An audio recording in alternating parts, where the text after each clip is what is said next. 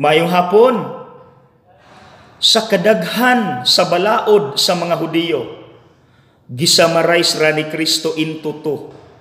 Gugma sa Dios, gugma sa isig katao. Simple raman di ay ang gikinahanglan nganong lisod-lisoron pa man. Kay kining kalibutan mauni naglisod-lisod nato. Dapat i-please nato ang mga tao nga brighta, buutan ta, naghimo tag maayo, nadamay ang relasyon sa Dios. Mao nang na-pressure pud ta og paningkamot nga magpasikat sa Dios.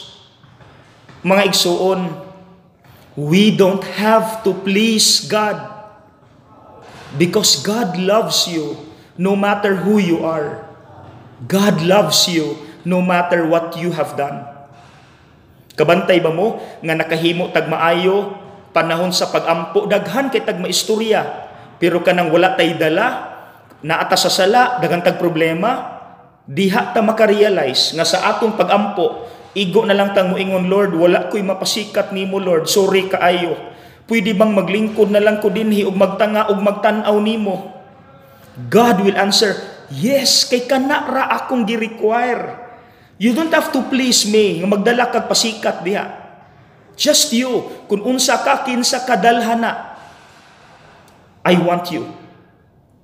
Ni ay kanta, pag-ibig ko. Mauni ang lyrics, God is telling us the message.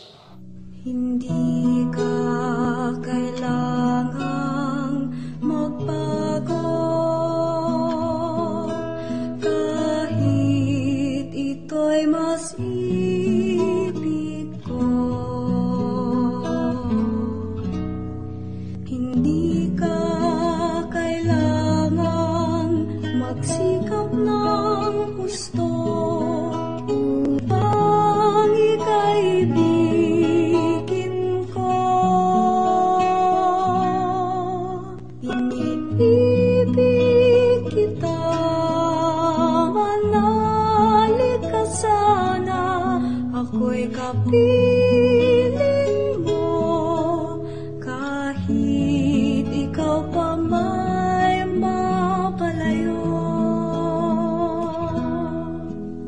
See?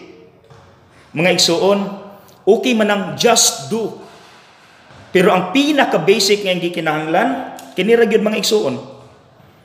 Just be.